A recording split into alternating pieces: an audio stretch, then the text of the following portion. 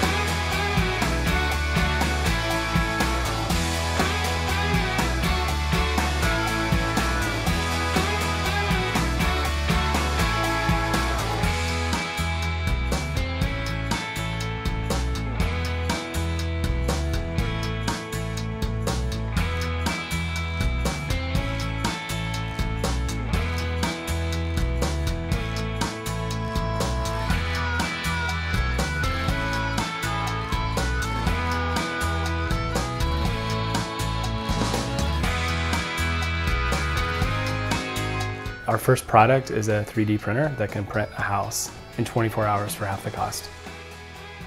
Phase one for New Story and for Icon is a proof of concept house, and the good news is we've done it. Um, we printed the first home in the United States that's going to be permitted.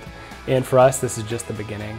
Um, the, the real kind of home run for us is to be able to do what we've done here in Austin, Texas, in the developing world. And we're doing that in what we call phase two, which is in El Salvador. We are going to be printing an entire village for people that don't have homes.